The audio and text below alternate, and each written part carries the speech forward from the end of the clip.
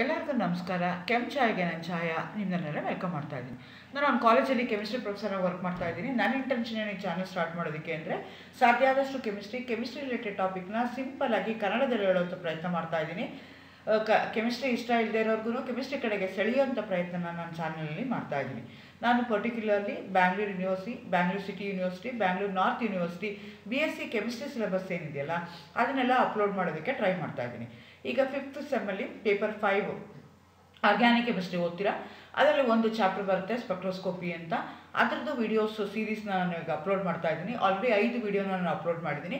ಇವತ್ತು ನಾನು ಅಪ್ಲೋಡ್ ಮಾಡ್ತಾ ಇರೋವಂಥದ್ದು ಆರನೇ ವಿಡಿಯೋ ಮಾಡ್ತಾ ಇರುವಂಥದ್ದು.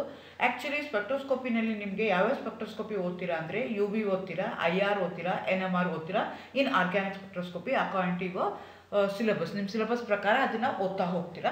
ಸೊ ನಾನು ಇವತ್ತು ನಾನು already U V visible spectroscopy ಮೇಲೆ ಆಲ್ರೆಡಿ ನಿಮಗೆ ಮೂರು ವಿಡಿಯೋ ಹಾಕಿದ್ದೀನಿ. ಇದು ಯು ವಿನಲ್ಲಿ ನಾಲ್ಕನೇ ವಿಡಿಯೋ ನಾನು ಅಪ್ಲೋಡ್ ಮಾಡ್ತಾ ಇರೋವಂಥದ್ದು so graphical representation of U V spectroscopy ಅದ್ರ ಬಗ್ಗೆ ನಾನು ಇವತ್ತು ಹೇಳೋಣ ಅಂತ ಅಂದ್ಕೊಳ್ತಾ ಇದ್ದೀನಿ. ಎಗೇನ್ ವೆಲ್ಕಮ್ ಟು ಕೆಂಚಾಯ ನನ್ನ ಚಾನಲ್ನ ಸಬ್ಸ್ಕ್ರೈಬ್ ಮಾಡಿ ಶೇರ್ ಮಾಡಿ. ಸೊ ನೀವು ಸ್ಪೆಕ್ಟ್ರೋಸ್ಕೋಪಿನಲ್ಲಿ ನಮಗೆ ಏನು ಫೈನಲ್ ರಿಸಲ್ಟ್ ಬರುತ್ತಲ್ಲ, ಅದನ್ನು ನಾವು ಸ್ಪೆಕ್ಟ್ರಮ್ ಫಾರ್ಮಲ್ಲಿ ಅಥವಾ ಸ್ಪೆಕ್ಟ್ರಮ್ ಅಂತ ಹೇಳ್ತೀವಿ, ಆ ರೀತಿಯಾಗಿ ಅದನ್ನು ನಾವು ಮಾಡ್ತಾ ಹೋಗ್ತೀವಿ. ಸೊ ಗ್ರಾಫ್ ಹಾಕ್ತೀವಿ. ಆ ಸ್ಪೆಕ್ಟ್ರಾಗೆ ಆ ಗ್ರಾಫ್ಗೆ ಗ್ರಾಫಿಕಲ್ ರೆಪ್ರೆಸೆಂಟೇಷನ್ ಅಂತ ಹೇಳಲ್ಲ, ಅದಕ್ಕೆ ಸ್ಪೆಕ್ಟ್ರಾ ಅಂತ ಹೇಳ್ತಾರೆ. ಸೊ ಹೇಗೆ ಹಾಕ್ತಾರೆ ಅದಂತ ಅಂದ್ಕೊಳ್ತಾ ಇದ್ದೀನಿ. ಸೊ ನಿಮಗೆ ಗೊತ್ತು ಯು ವಿ ವಿಸಿಬಲ್ ಸ್ಪೆಕ್ಟ್ರೋಸ್ಕೋಪಿ ಅಂತಂದರೆ ಏನು ಅಂತಂದರೆ, ಅಥವಾ ಯಾವುದೇ ಒಂದು ಸ್ಪೆಕ್ಟ್ರೋಸ್ಕೋಪಿ ಆಯಿತು ಅಂತಂದರೆ, ಅಲ್ಲಿ ಏನು ಮಾಡ್ತೀವಿ ಅಂತಂದರೆ ನಮ್ಮದು ಯಾವುದೋ ಒಂದು ಆರ್ಗ್ಯಾನಿಕ್ ಕಾಂಪೌಂಡ್ ಇದೆ. ಆರ್ಗ್ಯಾನಿಕ್ ಕಾಂಪೌಂಡ್ ಮೇಲೆ ಏನು ಮಾಡ್ತಾ ಇದ್ದೀವಿ? ನಂದು ಯಾವುದ್ರದ್ದು ಸ್ಪೆಕ್ಟ್ರೋಸ್ಕೋಪಿ ಅರ್ಥ ಮಾಡ್ಕೋಬೇಕಲ್ಲ, ಆ ರೇಂಜಲ್ಲಿ ಬರುವಂಥ ರೇಡಿಯೇಷನ್ಸ್ನ ಏನು ಮಾಡ್ತಾ ಇದ್ದೀನಿ ನಾನು? ಫ್ರೀಕ್ವೆನ್ಸಿ ಆಫ್ ರೇಡಿ ರೇಡಿಯೇಷನ್ಸ್ನ ನಾನು ಮಾಲಿಕ್ಯೂಲ್ ಮೇಲೆ ಬೀಳಂಗೆ ಮಾಡ್ಕೊಳ್ತೀನಿ. ಸೊ ಆ ಮಾಲಿಕ್ಯೂಲ್ ಏನು ಮಾಡುತ್ತೆ? ಎನರ್ಜಿನ ಅಬ್ಸರ್ವ್ ಮಾಡ್ಕೊಳ್ಳುತ್ತೆ ಸೊ ಎಷ್ಟು ಅಬ್ಸರ್ವ್ ಮಾಡ್ಕೊಳುತ್ತೆ ಅನ್ನೋದ್ರ ಮೇಲೆ ನಾನು ಏನು ಹೇಳ್ತಾ ಹೋಗ್ತೀನಿ ಅಂದರೆ, ನಾನು ಮಾಲಿಕ್ಯೂಲಲ್ಲಿ ಯಾವ ಸ್ಟ್ರಕ್ಚರ್ಸ್ ಇದೆ ಅಂತ ನಾನು ಡಿಸೈಡ್ ಮಾಡ್ತಾ ಹೋಗ್ತೀನಿ. That I am going to get in the form of a graph ಆ ಗ್ರಾಫ್ಗೆ ನಾನು ಏನಂತ ಕರಿತೀನಿ? ಸ್ಪೆಕ್ಟ್ರಾ ಅಂತಾರೆ ಅಥವಾ ಸ್ಪೆಕ್ಟ್ರಮ್ ಅಂತ ಹೇಳ್ತಾರೆ. ಸೊ ಅದೇ ಥರ ಯು ವಿ ಸ್ಪೆಕ್ಟ್ರಮ್ನಲ್ಲಿ ಆ ರೇಂಜ್ ಎಲ್ಲಿದೆ ಅಂತಂದರೆ ಅದು U ವಿಗಾದರೆ two hundred to four hundred nanometer ಬರುತ್ತೆ. Visible ರೀಜನ್ಗಾದರೆ four hundred to eight hundred nanometer ನಿಮಗೆ ಬರ್ತಾ ಹೋಗುತ್ತೆ. ಅಂದರೆ ಏನು ನಮ್ಮದು ಎಲೆಕ್ಟ್ರೋಮ್ಯಾಗ್ನೆಟಿಕ್ ರೇಡಿಯೇಷನ್ ತೊಗೊಂಡ್ರೆ ಆ ಎಲೆಕ್ಟ್ರೋಮ್ಯಾಗ್ನೆಟಿಕ್ ರೇಡಿಯೇಷನ್ ಏನು ಮಾಡಿದರೆ ಬೇರೆ ಬೇರೆ ರೇಂಜಲ್ಲಿ ನಾವು ಇಟ್ಕೊಂಡಿದ್ವಿ. ಆದರೆ ಯು ವಿ ವಿಸಿಬಲ್ ರೀಜ್ ರೀಜನ್ ಏನು ಬರುತ್ತೆ ಅಂದರೆ ಅದು two hundred to eight hundred nanometer ಇರುತ್ತೆ. Two hundred to four hundred ಆದರೆ ಯು ವಿ ಅಂತ ಹೇಳ್ತೀವಿ. Four hundred to eight hundred nanometer ಅಂದರೆ ವಿಸಿಬಲ್ ಅಂತ ಹೇಳ್ತೀವಿ. ವಿಸಿಬಲಲ್ಲಿ ಯೂಶಲಿ ಏನಾಗಿರುತ್ತೆ ನಿಮಗೆ? ಕಲರ್ಡ್ ಇರುತ್ತೆ. ಸೊ ನಾವೀಗ ಏನು ಮಾಡ್ತಾ ಇದ್ದೀವಿ ಅಂದರೆ ಯಾವುದೋ ಒಂದು ಆರ್ಗ್ಯಾನಿಕ್ ಕಾಂಪೌಂಡ್ನ ತೊಗೊಂಡಿದ್ವಿ. ಆರ್ಗ್ಯಾನಿಕ್ ಕಾಂಪೌಂಡ್ ಮೇಲೆ ನಾವೇನು ಮಾಡ್ತಾ ಇದ್ದೀವಿ ಯು ವಿ ವಿಸಿಬಲ್ ಲೈಟ್ನ ಅದ್ರ ಮೇಲೆ ಬೀಳೋಂಗೆ ಮಾಡ್ತಾ ಇದ್ದೀವಿ ಬಿದ್ದಾಗ ಏನು ಮಾಡುತ್ತೆ? ನನ್ನ ಕಾಂಪೌಂಡ್ ಏನು ಮಾಡುತ್ತೆ? Depending upon the nature of the structure ಅದರಲ್ಲಿ ಯಾವ ಫಂಕ್ಷನಲ್ ಗ್ರೂಪ್ ಇದೆ? ಸ್ಯಾಚುರೇಷನ್ ಇದೆಯಾ? ಅನ್ಸ್ಯಾಚುರೇಷನ್ ಇದೆಯಾ? ಡಬಲ್ ಬಾಂಡ್ ಇದೆಯಾ? ಕಾಂಜುಗೇಷನ್ ಇದೆಯಾ? ಆ ಬೇಸಿಸ್ ಮೇಲೆ ಏನು ಮಾಡುತ್ತೆ? ಬೇರೆ ಬೇರೆ ಅಮೌಂಟ್ ಆಫ್ ಎನರ್ಜಿನ ಏನು ಮಾಡುತ್ತೆ? Between four hundred to eight hundred ಅಥವಾ between two hundred to eight hundred ಅನ್ಬಿಟ್ರು ಆ ಮಾಲಿಕ್ಯೂಲ್ ಏನು ಮಾಡ್ತಾ ಹೋಗುತ್ತೆ? ಅಬ್ಸರ್ವ್ ಮಾಡ್ಕೊಳ್ತಾ ಹೋಗುತ್ತೆ. ಅಬ್ಸರ್ವ್ ಮಾಡ್ಕೊಂಡಾಗ ಏನಾಗುತ್ತೆ ಅಂತಂದರೆ ದ ಎನರ್ಜಿ ಸೋ ಹೈ ಹಂಗಾಗಿ ಏನಾಗುತ್ತೆ ಅಂದರೆ they going to excite from one energy level to another energy level excitation ಆಗುತ್ತೆ. ಸೊ ಆ ಬೇಸಿಸ್ ಮೇಲೆ ನಾನೇನು ಮಾಡ್ತಾ ಹೋಗ್ತೀನಿ ಅಂದರೆ ನಾನು ಕೊಟ್ಟಿರುವಂಥ ಕಾಂಪೌಂಡಲ್ಲಿರೋ ಸ್ಟ್ರಕ್ಚರ್ ಯಾವುದು ಅಂತ ನಾನು ಅನಲೈಸ್ ಮಾಡ್ತೀನಿ. ಸೊ ಗ್ರಾಫ್ ಹೇಗೆ ಹಾಕ್ತೀನಿ ಅಂತಂದರೆ ಅಬ್ಸಾರ್ಬೆನ್ಸ್ ವರ್ಸಸ್ ವೇವ್ ಲೆಂತ್ ನಾನು ಪ್ಲಾಟ್ ಮಾಡ್ತಾ ಹೋಗ್ತೀನಿ. ಆವಾಗ ನನಗೆ ಏನು ಗ್ರಾಫ್ ಬರುತ್ತಲ್ಲ, ಆ ಗ್ರಾಫ್ಗೆ ನಾನು ಏನಂತ ಕರಿತೀನಿ ಅಂತಂದರೆ ಯು ವಿ ವಿಸಿಬಲ್ ಸ್ಪೆಕ್ಟ್ರಾ ಅಂತ ನಾನು ಹೇಳ್ತಾ ಹೋಗ್ತೀನಿ.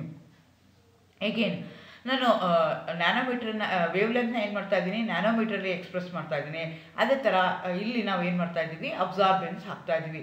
Graph of intensity of the light absorbed by the sample versus the wavelength what is the amount of light absorbed by your molecule that depends upon the structure of the molecule ಆ structure ನಿಮ್ಮ ಮಾಲಿಕ್ಯೂಲಲ್ಲಿ ಯಾವ ಥರ structure ಇದೆ. ಆ basis ಮೇಲೆ ಏನು ಮಾಡ್ತಾ ಹೋಗುತ್ತೆ? ಬೇರೆ ಬೇರೆ ಅಮೌಂಟ್ ಆಫ್ ಲೈಟ್ನ ಅದೇನು ಮಾಡುತ್ತೆ? ಇಂಟೆನ್ಸಿಟಿ ಆಫ್ ದಿ ಲೈಟ್ನ ಏನು ಮಾಡ್ತಾ ಹೋಗುತ್ತೆ? ಅಬ್ಸರ್ವ್ ಮಾಡ್ತಾ ಹೋಗುತ್ತೆ. ದಟ್ ನಾವು ಅಬ್ಸಾರ್ಬೆನ್ಸ್ ಅಂತ ಹೇಳ್ತೀವಿ. ದಟ್ ವರ್ಸಸ್ ವೇವ್ ಲೆಂತ್ನ ನಾನು ಮಾಡ್ತಾ ಹೋಗ್ತೀನಿ.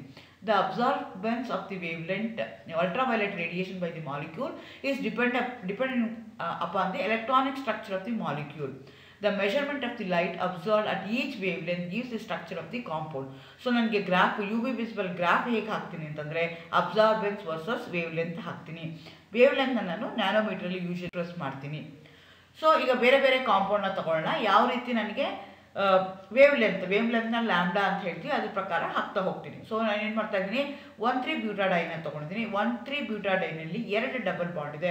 Compound is yellow in colour ಹಾಗಾಗಿ ಏನಾಗುತ್ತೆ ಅಂದರೆ ಲ್ಯಾಂಬ್ಡಾ ಮ್ಯಾಕ್ಸಿಮಮ್ ಎಲ್ಲಿ ಬರುತ್ತೆ ಅಂದರೆ ಟೂ ಸೆವೆಂಟೀನ್ ನ್ಯಾನೋಮೀಟ್ರಿಗೆ ನಿಮಗೆ ಲ್ಯಾಂಬ್ಡಾ ಮ್ಯಾಕ್ಸು ಬರ್ತಾ ಹೋಗುತ್ತೆ. ಸೊ ಇಲ್ಲಿ ಏನು ಮಾಡ್ತಾ ಇದ್ದೀನಿ ನಾನು? ಅಬ್ಸಾರ್ಬೆನ್ಸ್ ವರ್ಸಸ್ ವೇವ್ ಲೆಂತ್ನ ನಾನು ಪ್ಲಾಟ್ ಮಾಡಿದ್ದೀನಿ. ಅಬ್ಸಾರ್ಬೆನ್ಸ್ ಅಂದ್ರೆ ಏನು? Amount intensity of the light absorb by the molecule ಮಾಲಿಕ್ಯೂಲಲ್ಲಿ ಏನಾಗ್ತಾ ಇದೆ? ಎರಡು ಡಬಲ್ ಬಾಂಡ್ ಇದೆ. ಹಾಗಾಗಿ ಏನು ಮಾಡುತ್ತೆ? ಸ್ವಲ್ಪ ಜಾಸ್ತಿ ಅದು ಏನು ಮಾಡುತ್ತೆ?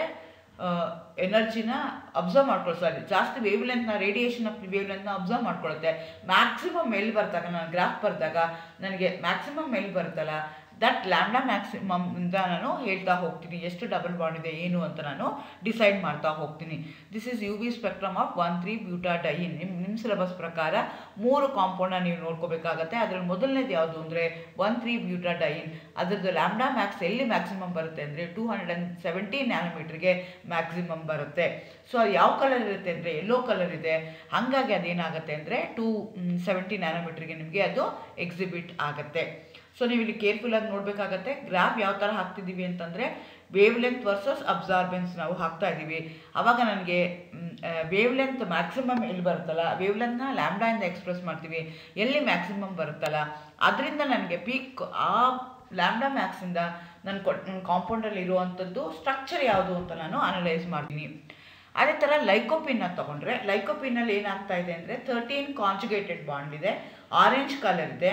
ಹಾಗಾಗಿ ಏನಾಗುತ್ತೆ it going to exhibit the lambda max of four seventy four ಬ್ಯೂಟಾಡೈನಲ್ಲಿ ಏನಾಗಿತ್ತು? ಎರಡು ಡಬಲ್ ಬಾಂಡ್ ಇತ್ತು. ಆದರೆ ಲೈಕೋಪಿನಲ್ಲಿ ಏನಾಗ್ತಾ ಇದೆ? ಹದಿಮೂರು ಡಬಲ್ ಬಾಂಡ್ ಇದೆ. ಹಾಗಾಗಿ ಏನಾಗ್ತಾ ಹೋಗುತ್ತೆ? ಲ್ಯಾಂಬ್ಡಾ ಮ್ಯಾಕ್ಸ್ ಏನಾಗ್ತಾ ಹೋಗುತ್ತೆ? ಜಾಸ್ತಿ ಆಗ್ತಾ ಹೋಗುತ್ತೆ. ಸೊ ಇದನ್ನು ನೀವು ಬ್ಲೂ ಶಿಫ್ಟ್ ರೆಡ್ ಶಿಫ್ಟ್ ಅಂತ ಓದಿರ್ತಿರಲ್ಲ, ಆ ಬೇಸಿಸ್ ಮೇಲೆ ನಾವು ಹೇಳ್ತಾ ಹೋಗ್ತೀವಿ. ಎಗೇನ್ ಲೈಕೋಪಿನ್ನ ತಗೊಂಡ್ರೆ ನಿಮ್ಗೆ ಏನಾಗ್ತಾ ಇದೆ ಅಂತಂದರೆ ಬೇರೆ ಬೇರೆ ರೇಂಜಲ್ಲಿ ನಿಮ್ಗೆ ಏನಾಗ್ತಾ ಇದೆ? ಪೀಕ್ ಬರ್ತಾ ಇದೆ. ಆದರೆ ಕ್ಲಿಯರ್ ಪೀಕ್ ನನಗೆ ಎಲ್ಲಿ ಬರ್ತಾ ಇದೆ ಅಂದರೆ ಫೋರ್ ಸೆವೆಂಟಿ ಫೋರ್ ಬರ್ತಾ ಇದೆ. ಹಾಗಾಗಿ even I am going to get three peaks ಇಲ್ಲಿ ಮೂರು ಪೀಕ್ ಬರ್ತಾ ಇದ್ರು ಆದರೆ ಕ್ಲಿಯರ್ ಆಗಿರುವಂಥದ್ದು ಅಥವಾ ಇಂಟೆನ್ಸಿಟಿ ಇರುವಂಥದ್ದು ಅಥವಾ area under the peak maximum ಎಲ್ಲಿದೆ ಅಂತಂದರೆ ಫೋರ್ ಸೆವೆಂಟಿ ಫೋರ್ ನ್ಯಾನೋಮೀಟ್ರಿಗಿದೆ ಹಾಗಾಗಿ ಲ್ಯಾಂಬ್ಡಾ ಮ್ಯಾಕ್ಸ್ ಮ್ಯಾಕ್ಸಿಮಮ್ ಎಷ್ಟಿದೆ ಲೈಕೋಪಿಂದು ಅಂತಂದರೆ ನಾನು ಏನು ಹೇಳ್ತೀನಿ ಅಂತಂದರೆ ಫೋರ್ ಸೆವೆಂಟಿ ಫೋರ್ ಅಂತ ನಾನು ಹೇಳ್ತಾ ಹೋಗ್ತೀನಿ again there will be slight disturbance four seventy one ಗ್ರಾಫಲ್ಲಿ ತೋರಿಸ್ತಾ ಇದೆ. ಆ್ಯಕ್ಚುಲಿ ಫೋರ್ ಸೆವೆಂಟಿ ಫೋರ್ ಅಂತ ಕೆಲವು ಬುಕ್ಸಲ್ಲಿ ಅವರು ಕೊಟ್ಟಿದ್ದಾರೆ. ಆ ಬೇಸಿಸ್ ಮೇಲೆ ನಾನು ಫೋರ್ ಸೆವೆಂಟಿ ಫೋರ್ ನ್ಯಾನೋಮೀಟರ್ ಅಂತ ಹಾಕಿ ಅದೇ ಥರ ಬೆನ್ಸಿನ್ನ ತೊಗೊಂಡ್ರೆ ಬೆನ್ಸಿನಲ್ಲಿ ಏನಾಗ್ತಾ ಇದೆ? ಲ್ಯಾಮ್ಡಾ ಮ್ಯಾಕ್ಸ್ ಎಲ್ಲಿ ಬರ್ತಿದೆ ಅಂದರೆ two fifty five nanometer again ನೀವು ಈಗ ಮ್ಯಾಕ್ಸಿಮಮ್ನ ತೊಗೊಳೋದಾದರೆ, ನಿಮಗೆ ನಾನು ಮುಂಚೆನೇ ಹೇಳ್ದಂಗೆ ಯು ವಿ ವಿಸಿಬಲ್ ಲೈಟ್ನ ನಿಮ್ಮ ಮಾಲಿಕ್ಯುಲು ಅಬ್ಸರ್ವ್ ಮಾಡಿಕೊಂಡ್ರೆ ಎಲೆಕ್ಟ್ರಾನಿಕ್ ಟ್ರಾನ್ಸಿಷನ್ ಆಗುತ್ತೆ. They going to jump from one energy level to another energy level so ಆ ಎಲೆಕ್ಟ್ರಾನಿಕ್ ಟ್ರಾನ್ಸಿಷನ್ಸ್ ಹೇಗಿರುತ್ತೆ ಅಂತಂದರೆ ಪರ್ಟಿಕ್ಯುಲರ್ಲಿ ಯು ವಿ ವಿಸಿಬಲ್ ರೀಜನಲ್ಲಿ ನಾವು ಯಾವ್ದು ತೊಗೋಬೇಕು ಅಂತಂದರೆ ಪೈ ಟು ಪೈ ಟ್ರಾನ್ಸಿಷನ್ ತೊಗೋಬೇಕಾಗತ್ತೆ ಎನ್ ಟು ಪೈ ಸ್ಟಾರ್ ಟ್ರಾನ್ಸಿಷನ್ನ ತೊಗೋಬೇಕಾಗತ್ತೆ. ಸೊ ಯಾವುದಕ್ಕೆ, ಯಾವುದು ಟ್ರಾನ್ಸಿಷನ್ ತೊಗೊಳ್ತಾ ಇದ್ದೀವಿ ಅನ್ನೋದ ಮೇಲೆ ನಿಮಗೆ ಗ್ರಾಫ್ ಏನಾಗ್ತಾ ಹೋಗುತ್ತೆ, ಬೇರೆ ಬೇರೆ ಆಗ್ತಾ ಹೋಗುತ್ತೆ. ಎನ್ ಟು ಪೈ ಟ್ರಾನ್ಸಿಷನ್ ಆದರೆ ಲ್ಯಾಂಬ್ಡಾ ಮ್ಯಾಕ್ಸ್ ಬೇರೆ ಆಗುತ್ತೆ ಪೈ ಟು ಪೈ ಟ್ರಾನ್ಸಿಷನ್ ಆದರೆ ಲ್ಯಾಂಬ್ಡಾ ಮ್ಯಾಕ್ಸು ಬೇರೆ ಆಗುತ್ತೆ. ಬಟ್ ನನಗೆ ಎರಡೂ important both of them they going to give me the idea ಯಾವ ಥರ ಇದೆ ನನ್ನ ಮಾಲಿಕ್ಯೂಲಲ್ಲಿ ಅಂತ. ಆದರೆ ಬೆನ್ಸಿನಲ್ಲಿ ನಾನು ಇಲ್ಲಿ ಗ್ರಾಫಲ್ಲಿ ನಾನು ಪೈ ಟು ಪೈ ಟ್ರಾನ್ಸಿಷನ್ ತೊಗೊಳ್ತಾ ಇದ್ದೀನಿ. ಸೊ ಲ್ಯಾಮ್ಡಾ ಮ್ಯಾಕ್ಸ್ ಎಷ್ಟಕ್ಕೆ ಬರುತ್ತೆ ಅಂದರೆ ಟೂ ಫಿಫ್ಟಿ ಫೈವ್ ನಾನೋಮೀಟ್ರಿಗೆ ಬರ್ತಾ ಇದೆ. ಅಗೇನ್ ಇಲ್ಲಿ ನೋಡ್ಕೊಳ್ಳಿ. You are going to get number of peaks ಬರ್ತಾ ಇದೆ. ಅದು ಯಾಕೆ ಅಂತಂದರೆ ನೀವು ರೆಸನೆನ್ಸ್ ಸ್ಟ್ರಕ್ಚರ್ನ ತಗೊಂಡಾಗ ಅಥವಾ ನಿಮ್ಮದು ಎಲೆಕ್ಟ್ರಾನಿಕ್ ಟ್ರಾನ್ಸಿಷನ್ ತಗೊಂಡಾಗ ಬೇರೆ ಬೇರೆ ಹೈಡ್ರೋಜನ್ ಇದ್ದಾಗ ಬೇರೆ ಬೇರೆ ಥರ ಆಗ್ತಾ ಹೋಗುತ್ತೆ. ಸೊ ನನಗೆ ಮ್ಯಾಕ್ಸಿಮಮ್ ಯಾವ್ದು ಬರುತ್ತಲ್ಲ that I am going to ಕನ್ಸ್ ಅದೇ ಥರ ಅಸಿಟೋನ್ನ ತೊಗೊಂಡ್ರೆ two seventy four two seventy nanometer ಬರ್ತಾ ಇದೆ. ಇಲ್ಲಿ ನೋಡ್ಕೋಬೇಕಾಗತ್ತೆ ಬರೀ ಲ್ಯಾಂಬ್ಡಾ ಮ್ಯಾಕ್ಸ್ ಅಷ್ಟೇ ಅಲ್ಲ the graph area covered under the graph under the peak that also going to matter a lot so ಅಸಿಟೋನಲ್ಲಿ ಏನಾಗ್ತದೆ? ಒಂದೇ ಒಂದು ಡಬಲ್ ಬಾಂಡ್ ಇದೆ. ಸೊ ಹಾಗಾಗಿ ಅದೇನಾಗ್ತಾ ಇದೆ? ಟೂ ಸೆವೆಂಟಿ ನ್ಯಾನೋಮೀಟ್ರಿಗೆ ನಿಮಗೆ ಗ್ರಾಫು ಬರ್ತಾ ಇದೆ.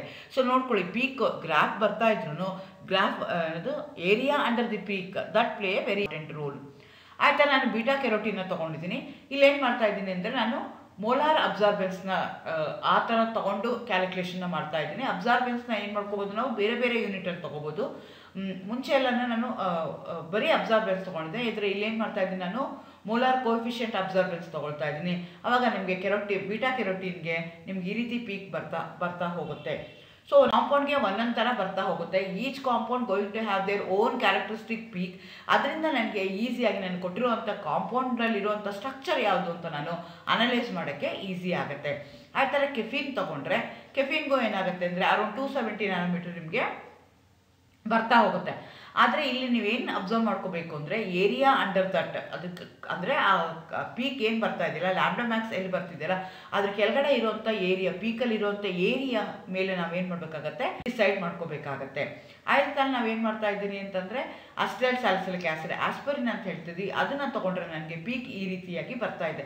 ಇವು ನೀವು ಕೇರ್ಫುಲ್ಲಾಗಿ ಅಬ್ಸರ್ವ್ ಮಾಡಬೇಕು. ಎಲ್ಲ ಕೇಸಲ್ಲೂ ನಾವೇನು ಮಾಡ್ತಾ ಇದ್ದೀವಿ ಅಬ್ಸಾರ್ಬೆನ್ಸ್ ವರ್ಸಸ್ ವೇವ್ಲೆಂತೆ ಮಾಡ್ತಾ ಇದ್ದೀವಿ ಆದರೆ ನಿಮಗೆ ಬರ್ತಾ ಇರೋಂಥ ಗ್ರಾಫ್ ಪೀಕ್ ಏನಿದೆಯಲ್ಲ, ಅಥವಾ ಗ್ರಾಫ್ ಏನಿದೆಯಲ್ಲ the style of the graph ಏನಿದೆಯಲ್ಲ, ಅದೇನಾಗ್ತಾ ಹೋಗುತ್ತೆ? ವೇರಿ ಆಗ್ತಾ ಇದೆ. ಯಾಕೆ ವೇರಿ ಆಗ್ತಾ ಇದೆ ಅಂದರೆ we are doing the absorbance we are calculating the we are drawing the absorbance or wavelength for the different compounds ಬೇರೆ ಬೇರೆ ಕಾಂಪೌಂಡ್ಗೆ ಏನಾಗ್ತಾ ಇದೆ? ಬೇರೆ ಬೇರೆ ಬರ್ತಾ ಇದೆ. ಬೇರೆ ಬೇರೆ ಕಾಂಪೌಂಡು ಬೇರೆ ಬೇರೆ ವೇವ್ ಲೆಂತಲ್ಲಿ ನನಗೆ ಏನು ಮಾಡ್ತಾ ಇದೆ? ಪೀಕ್ನ ಕೊಡ್ತಾ ಇದೆ.